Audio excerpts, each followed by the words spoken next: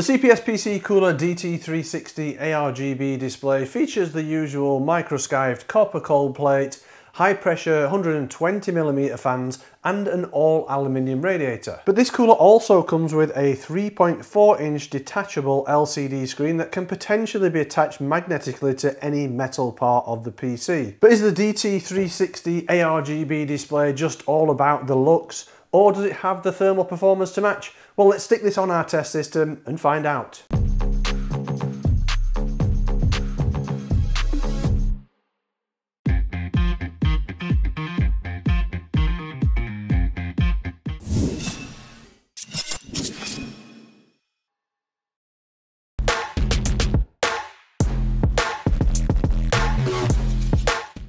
So this is the CPS PC Cooler DT360 ARGB display. You can pick up this cooler in the US now, priced at around 250 bucks. It's available in black or white, but at the time of filming this video, I couldn't find it available in the UK, so we're still waiting for a confirmation on whether this will actually land in the UK and how much the price will be. DT360 ARGB display features a detachable magnetic 3.4 inch IPS LCD screen with 480 by 480 resolution and 60 Hz refresh rate that can display customizable themes and real-time system information. It's equipped with a copper microskive cold plate with an all ceramic bearing pump solution. The included F7 X120 fans feature a wireless modular connection for less cable clutter with 28mm thickness for concentrated airflow and high static static pressure and a 27mm thick radiator with 14 water channels and high density fin array. It is compatible with all current Intel and AMD desktop platforms so that will include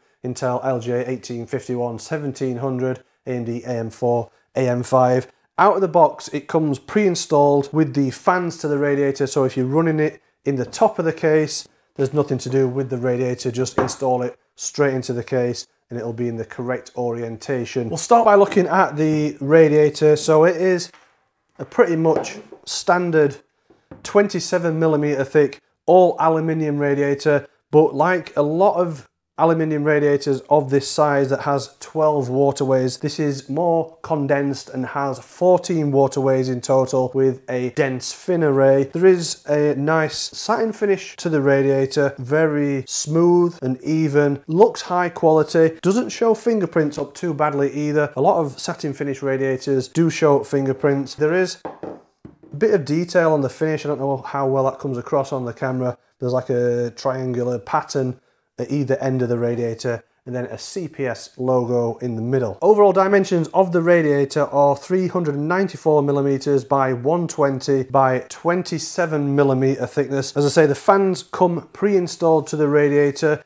Tubing is a rubber low evaporation tubing. It's 400 millimeter length and it's covered with a braided sleeving. At the radiator side, you can see the tubing is fixed. There's no rotation or movement in the tube in there. But at the CPU block, there are 90 degree rotary fittings. They are really stiff to move though, so you might want to just work them a little before you install it into the system if you think you might need to adjust them once they are installed. They are quite stiff to move those, stiffer than most other AIO tubing. They also come with a couple of clips on the tubes there, so they're just plastic clips. They've got that same triangular pattern on one side and you can adjust those up and down the tubing depending on where you want them once it's installed. The block itself has a quite a nice premium aluminium cover with like a gunmetal finish and it also has this chrome effect trim around it. Inside the center there is a CPS logo that illuminates with RGB lighting but you do have this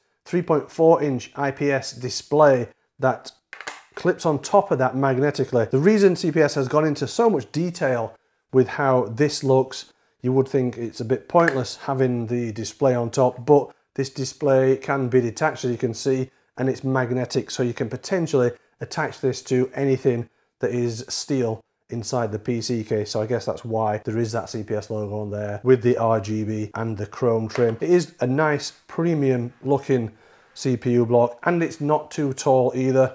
Even with the uh, display on there, it's not too tall, not too imposing on the system. So if you like the subtle minimalist look, it shouldn't look too imposing even with the CPU block and the LCD on top of it. At the base of the block there is a copper microskive cold plate compatible with all current Intel and AMD platforms. It doesn't come with any pre-applied thermal compound but included in the box is some EX90 thermal compound. It's a decent sized tube of that. There should be enough in there for a couple of installations. So if you upgrade your CPU in the future and you need to reinstall it, there should be enough thermal compound there. The pump features an all ceramic bearing setup and it has a speed of up to 2600 RPM, but it is only voltage control. So it's a three pin header for the motherboard, not PWM control. The fans that come with the cooler are CPS PC Cooler F7X120 fans. They come pre-installed to the radiator, which is a time saver. It can take quite a while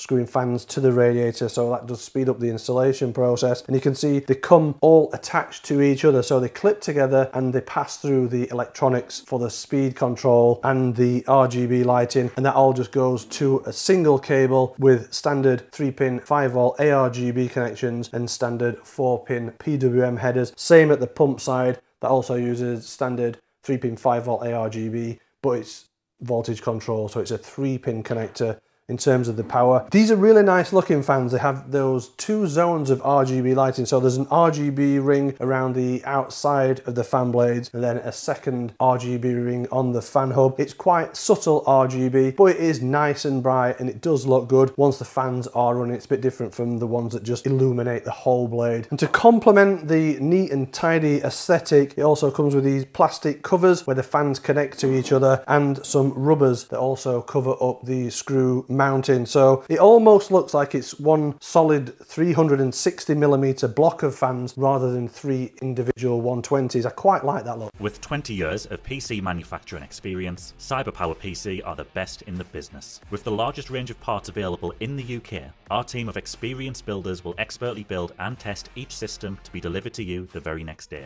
Check out cyberpowersystem.co.uk. So that's a quick rundown of the main features of the cooler. If you want to see a bit more information about the cooler, head over to kitguru.net where there will be a written review page for the PC Cooler DT360 ARGB display. Let's take a look now at the installation process, get this installed on our test system and have a look at the thermal performance. Included with the cooler is an upper mounting bracket for AMD installation, an upper mounting bracket for Intel installation, an Intel motherboard backplate, a set of Phillips head screws for mounting the radiator to the chassis, the 3.4 inch detachable DT LCD screen, a CPS ARGB and PWM fan hub, an RGB and PWM motherboard sync cable, a USB Type-C to USB 2.0 motherboard header cable for connecting the LCD, and a tube of CPS EX90 thermal compound. First, attach the correct mounting bracket to the CPU block and depending on whether you're using Intel or AMD, there's a specific bracket for each. Our test system uses an AMD AM5 platform, so I've attached the AMD bracket and I'll show you the installation process for AMD sockets. Next, remove the stock AMD upper mounting brackets from the motherboard. The cooler doesn't come with thermal compound pre-installed, but there's a tube supplied with the cooler. So now is a good time to apply thermal compound to the CPU IHS. Next, lower the CPU block into position over the CPU and tighten the four spring-loaded screws evenly and progressively in an X-shaped pattern for even contact. Then connect the fan power cable to the motherboard PWM header usually labelled CPU underscore fan. Connect the pump power cable to a motherboard header usually labelled AIO underscore pump or CPU underscore OPT. Now connect the pump female and fan male RGB connectors together, then connect the other female end to a motherboard 3-pin 5V ARGB RGB header. Then for the LCD, connect the USB Type-C cable to the connector on the LCD housing and connect the other end of the cable to a USB motherboard header to complete the installation. The RGB is controlled via motherboard software, but you need to download the display configuration software from the CPS PC Cooler website. In there you can adjust the image background and custom edit the information that is shown on the display with various sensor information and other options available as well as the option to upload a custom image to the display LCD. However, the software is quite poorly laid out with too many options and it can be quite confusing and annoying to use, which means it's a very time consuming job to customize the display. Let's start by looking at noise output as this gives us a good indication of performance based on noise. At 57 decibels, the CPS PC Cooler DT360 ARGB display is a loud cooler, but the fans are running at very high speed. So this high noise output is to be expected, but you wouldn't want to run the cooler at this fan speed if you care about noise at all. With the fans running at max speed and the CPU at fixed frequency, the performance of the DT360 ARGB Display is quite impressive at 58 degrees C over ambient, which is only a couple of degrees off the best and equaling the performance of the likes of the Lian Li HydroShift 360 and SilverStone IceMyst 420. With the CPU still at fixed frequency, fan speed is reduced to hit the 40 decibels noise target. With the DT360 ARGB display, we had to reduce the speed to 1770 RPM, which is still quite high compared with a lot of other coolers. This drops the performance to mid-10 and similar to the Deepcool Mystique 360 and the Be Quiet Silent Loop 3420 at 64 degrees C over ambient, which again is only a few degrees C off the top coolers, so it's solid performance from the PC Cooler AIO. In the PBO test, the important metric is the clock multiplier as the CPU auto adjusts frequency to meet a target temperature, so the temperature delta between coolers is close. Again, with fans set at maximum speed, the DT360 ARGB display is placed in mid-table with an average clock multiplier of 52.4, which means the CPU is running at 20 megahertz per core lower than the top coolers, but this will be a minor performance drop and not really noticeable in real world scenarios. So overall, the thermal performance is good, but it's very loud at maximum fan speed. If you're looking for a new chair, then definitely go and check out boulies.co.uk.